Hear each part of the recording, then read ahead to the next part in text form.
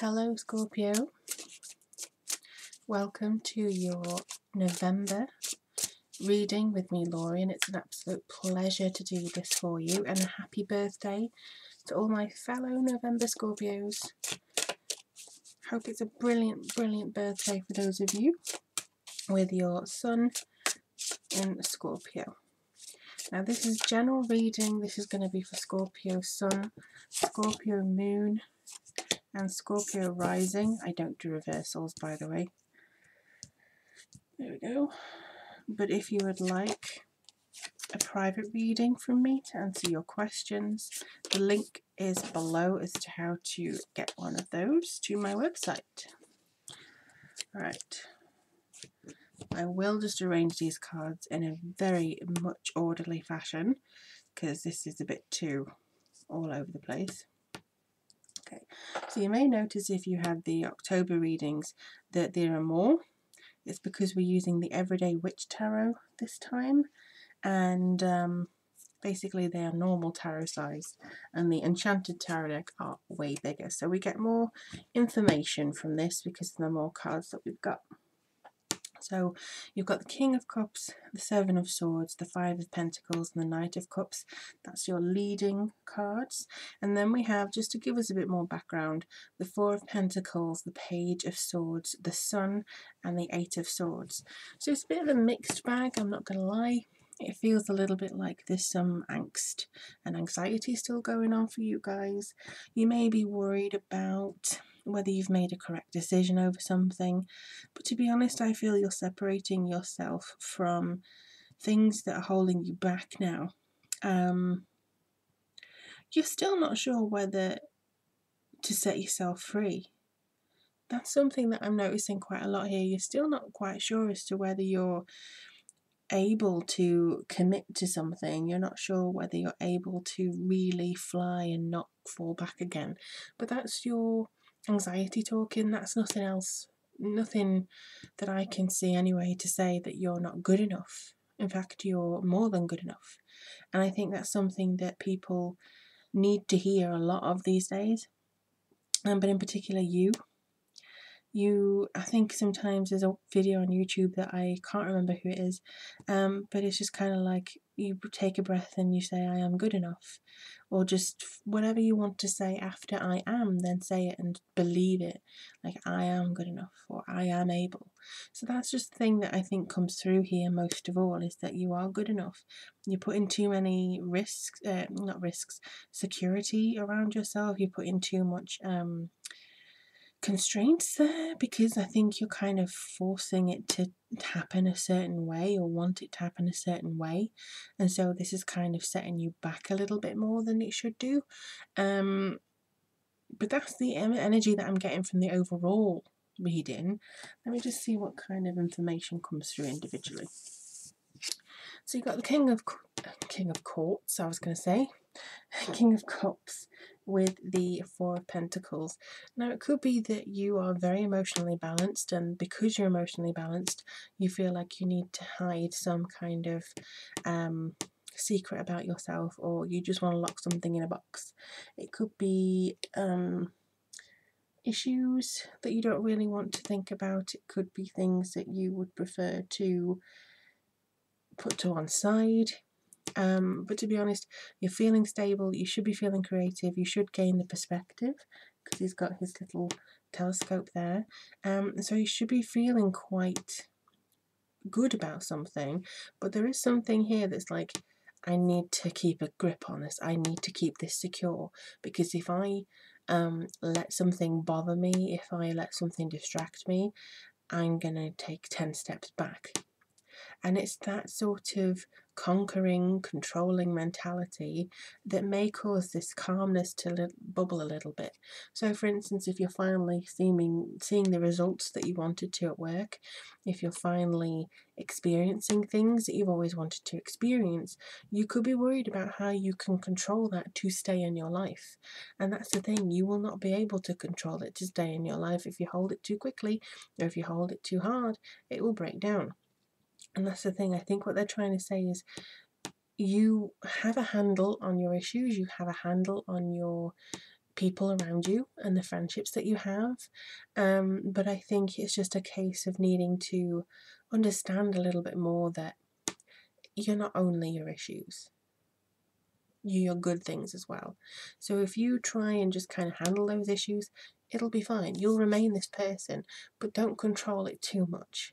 And I think this is very much about the group order, who you may see yourself as in a group or in a wider group. I think sometimes you may be seen as the wild wisdom person, but sometimes it could also be that you feel a little bit isolated, like you're on an island looking at the world from the outside in. And I think that's something to do with this here. But I don't think that you have to worry too much about that because you have this strength and this compassion that I think is very key to being a good person and setting yourself on the road to success, really. The thing is, you have to, you know, be mindful of is not to kid yourself. The Seven of Swords is sometimes not about other people trying to deceive you, but you trying to deceive yourself. It could be that you're betraying some kind of key part of yourself. You thought, um, for instance, I would always get here this way through the right channels, but something is like it's not happening as quickly as I wanted to, so I may have to go through the other channels. Don't do that. Stick by your guns. I mean, if it, if it makes you feel weird and it makes you feel uncomfortable to try and go into the other area, to go into the other channels, don't do it. Honestly, please don't do that because I think that you are going to get the idea you need, you're going to get the perspective you need. There's a curious energy here. It's like a eureka moment. And, you know, if some people are being a little bit dodgy with you, if some people are going a little bit um, withholding truth, shall we say, then if you were going to put the truth in front of them, basically. I know what you're doing. I know what you've been doing this past month, year, however long, and I'm not standing for it anymore. And you're actually going to stand up for yourself and be quite um, soulful with your communication with them. And that's what I feel here. It may be a bit delayed. You may get a lot of communication coming through towards the middle of the month, and you may think, yes, but again, there could be people or your own anxiety thinking, yeah, but, yeah, but, yeah, but, yeah, but, deceiving yourself. So please try and keep an open mind when it comes to the good things coming. Because it may take you, or it may take a leap of faith in order to really understand where it is you want to go to. And then we have the Five of Pentacles. Now, the Five of Pentacles with the Sun is an interesting one I very, very rarely have a combination quite like this. So the five is about, again, um, a little bit of conflict. And I think this is more about insecurity, worry, poverty, feeling like any port in a storm, gotta get there, gotta get there, gotta get there, that kind of thing. But the sun is here to say, you're all right. There's an enlightenment coming here. There's a reassurance that you're heading for greatness. You don't have to worry that this is going to be your life forevermore. Don't focus on this being your life forevermore. Focus on the good things. Focus on what you want your life to be. Change your mental attitude to something greater. Because for some of you Scorpios, and you know, I understand, I know a lot of Scorpios who are in the same boat. You may have been in this situation for quite a long time. You don't know anything but that and the thing that you could move forward and have so much freedom, you may be a little bit worried about the consequences that come with that. For instance, it could be you don't want to have so much attention, you don't want to have so much change, you don't want to have um, so much responsibility. But I think it's worth it. I think it's worth it because you'll have enough vitality to actually forfeit this existence of your mind and of your mental state. Because to be honest, it feels like you're heading to security, you're heading to um, something golden. It is a port in a storm, but it's not just one temporarily and then you go to the next one. You have to have this kind of it's going to be okay, it's going to grow tall, I'm going to feel all right. Because I think you are going to go through some sort of enlightenment this month. I mean, it could be to do with your birthday, but I do think there's a lot going on for you in the positive areas, really. This is a good a good combination to be honest because it's saying no matter how much you fear you has it has no basis the fear that you have has no basis you're judging your fear on what's experiencing now not what is to come so kind of understand that a little bit more if you can um, because we don't normally fear the darker elements, but sometimes living in them is a little bit difficult. So just kind of move away from that if you can. And then we have the Eight of Swords with the Knight of Cups. Now, the Eight of Swords is almost like isolation again, and you may feel like, oh crap, I've wasted my chance, or I feel very alone, or I don't know what to do. This is a very isolationist sort of mentality. You don't have to have that. The Knight of Cups is very much about that sort of romance and charm and the kind of lust for life and maybe invitations. I mean, there's a shark underneath here, you know, and it's rising above that danger, rising above that. I mean, you may think, if I lose myself to this person, if I lose myself to this situation, if I go along with this um, curious, wonderful, charming energy, what's to say I won't fall off? And that's this talking. Everything here, actually, everything here is showing me that you have so much to give, so much love and compassion and dynam- dynamism and a gift. You have a gift. And where others may see it, you don't. And that's the thing that's really annoying me. It's kind of like, I can get this, I can get this, I can get this, but there's a fear of what if I don't? Or what if it goes tits up? What if it goes wrong? What if it does this? What? Ignore it. People may tell you, do not jack in your job that's making you sick until you have another job. No. Do what's right for you. Do what's right for you. That's the um that's the that's the main thing that I can tell you at the moment. Because you have the Ten of Pentacles. This is at the bottom. This is what is yours. This is what is due to come to you. Wealth, establishment, success, happy families, a home, stability, achievement, a sense of well being that comes from having material things, yes, but also the material things I think are the biggest concern for you right now. I don't get this being spiritual, I don't get this being, oh, well, I can't have this because I'm a spiritual person. Nowhere in no law does it say spiritual people can't have a house that they call their own.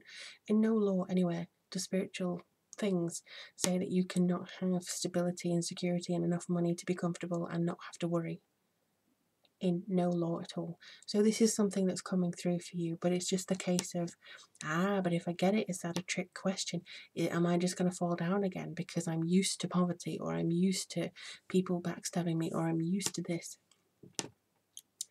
We need to get out of that mentality. You need to know that you're worth it and you have enough power within yourself to actually gain what you want to gain. I'm just going to do a Nature's Whispers Oracle card to round off this reading.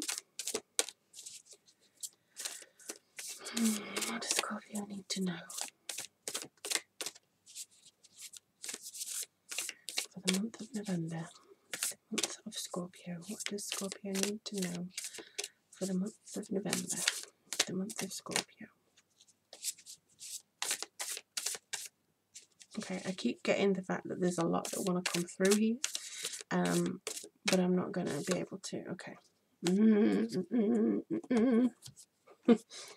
Hope and happiness. Hope and happiness. So this adds up to a number three card.